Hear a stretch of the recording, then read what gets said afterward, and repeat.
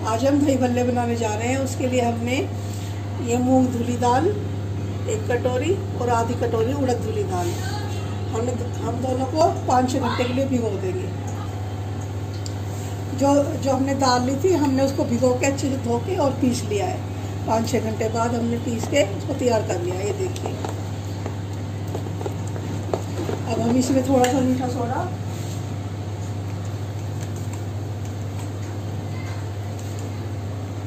तो डाल इसमें दिखाऊँगा।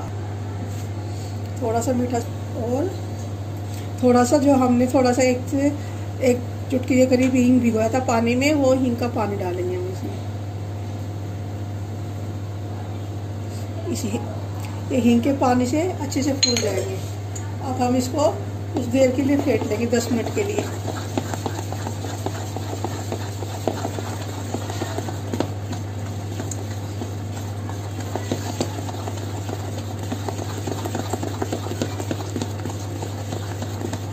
एक ही तरह से फेंटना है दाल को।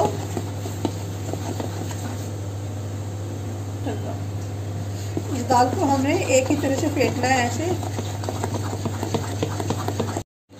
ये देखिए हमारी दाल, हमने दाल को फेंट लिया है, हमारी दाल तैयार है। अब हम इसके दही बड़े बनाएँगे। पानी लेंगे पहले इसको गीला करेंगे चम्मच को और फिर इससे दही बड़ा।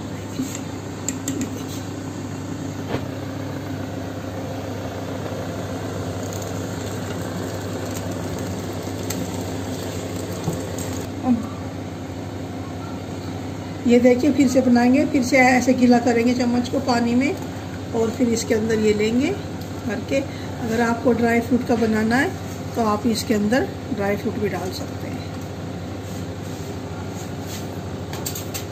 ये देखिए, इसको हम इसके अंदर कर देंगे चम्मच की सहायता से।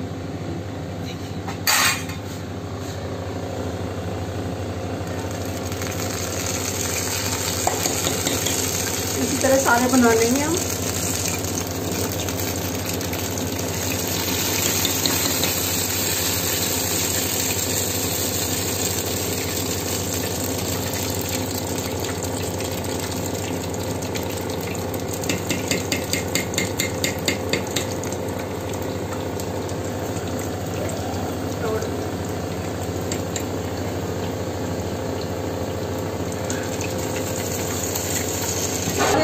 एक तरफ़ से सीख चुके हैं हल्के से ये अब हम इनको पलट देंगे। ये देखिए इस तरह से। अब थोड़ा सा सीखने देंगे, हल्का सुनहरे होने तक। देखिए हमारे सीख चुके हैं थोड़ी सी देर में सीख के तैयार हो जाएँगे। हम इनको हल्का सेकेंगे, क्योंकि हमें इनको एक बार और फ्राई करना, ताकि दाल अंदर से कच्ची ना रह जाए। अभी हम इनको एक बार और सेकना है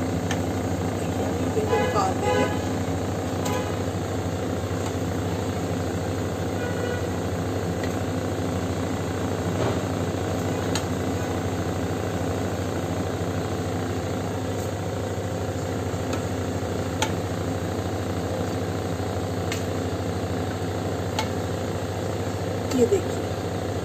है ना कितने सुंदर? चलिए बनाते हैं। इसी तरह से हम सारे बना लेंगे। ऐसे डाल ली हमने ये। ऐसे धीरे से छोड़ देंगे ये देखिए हमारे सभी दही बल्ले बन के तैयार है। एक बार हमने इनको फ्राई कर लिया तो हम एक बार और करेंगे, ताकि अंदर से कच्चे ना रहे। ये देखिए, इस तरह से एक बार और फ्राई करेंगे अभी हम इनको।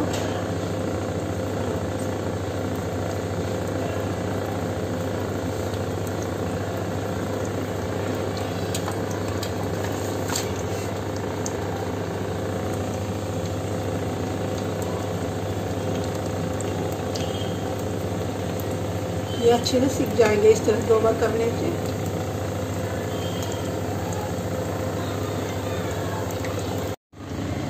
ये देखिए हमारे दही बल्ले बन के तैयार हैं। अब इनको अच्छे से सेक लिया है। अब हम इनके लिए हल्का निवाया पानी करेंगे और एक डेढ़ घंटे के लिए उसमें डाल देंगे। ये देखिए, हमने हल्का गर्म पानी लिया है। अब हम इसमें डेढ़ से दो घंटे के लिए इनको इसमें डाल देंगे पानी में। ताकि सॉफ्ट हो जाए।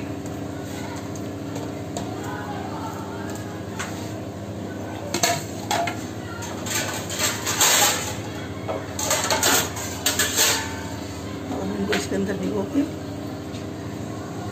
छोड़ देंगे ये देखिए, हमारे दही बल्ले भीग के तैयार हैं। एकदम सॉफ्ट और नरम। हम इनको थोड़ा सा हल्के से हाथ से दबा के और पानी निकाल देंगे इनका।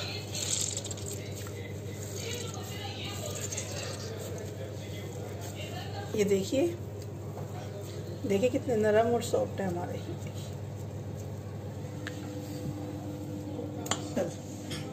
ये देखिए, हमने इसके लिए ये दही दही को फेंट लिया है और इसमें एक चम्मच बूरा ऐड किया है, जो थोड़ा हल्का मीठा अच्छा लगेगा। ये हरी चटनी बना के तैयार की है, ये मीठी सोट है, जो हमने घर में तैयार की है। अब हम इन सभी से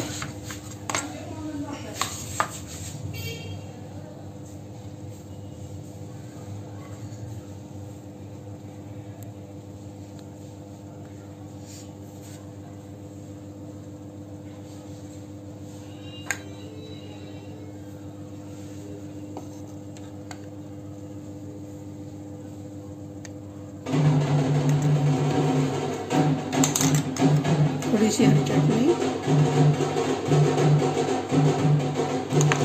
और फिर से सॉल्ट थोड़ा थोड़ा।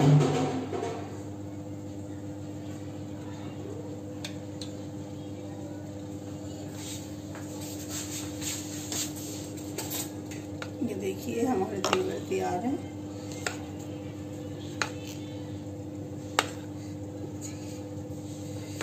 अब हम थोड़ा सा चाट मसाला थोड़ा सा भुना जीरा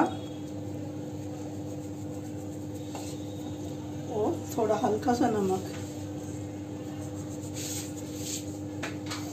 थोड़ी सी हल्की सी लाल मिर्च। ये देखिए, हमारे तैयार है बिल्कुल एकदम। अब देखिए, इसको आपको मैं दिखाती हूँ। ये देखिए।